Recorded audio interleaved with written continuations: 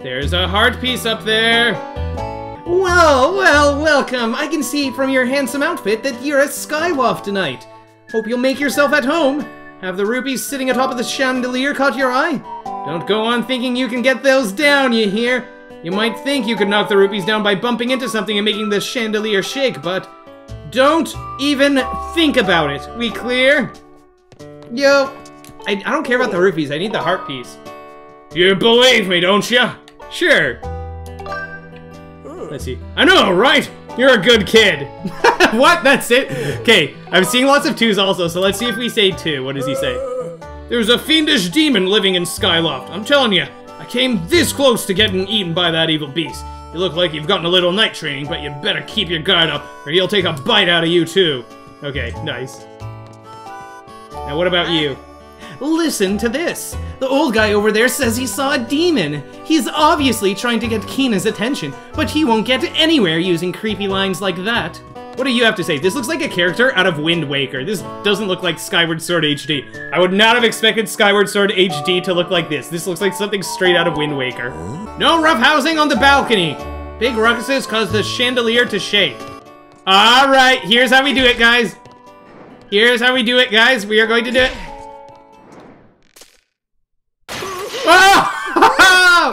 The chandelier broke. These guys. Oh my goodness. Why would you do that? Get down and come here this instant. Link doesn't even care. The look on his face. It's like, okay, I did that, so? What do you have to say about this? Oh no, you've done it now! There's no escaping this one! What about you? What are you thinking? You scared a year off my life. What, what did you want again? I lost my train of thought. You believe me, don't you? No chance. Hey, now. What's with you kids today and you're disrespecting and whatnot? I swear. What about you? Don't even pretend that was an accident! I put signs up there to warn people to be careful of the chandelier and everything. Well, I wash my hands of the whole thing. Don't be surprised if my dad gives you a royal chewing out. What does that mean? I don't think that means what I think it means. I'm gonna go talk to him behind the counter. Because we're on the same level here. Oh, oh. What is wrong with you? Just look at what you've done. You broke my fancy custom-ordered chandelier. You're going to be working for me for free until you pay off every single rupee that chandelier cost me. Got that? Are you ready to own up to your responsibility? No way. Oh. What did you say? You got some nerve coming in here busting my chandelier and thinking you can get away with it? Wait, can I actually just leave?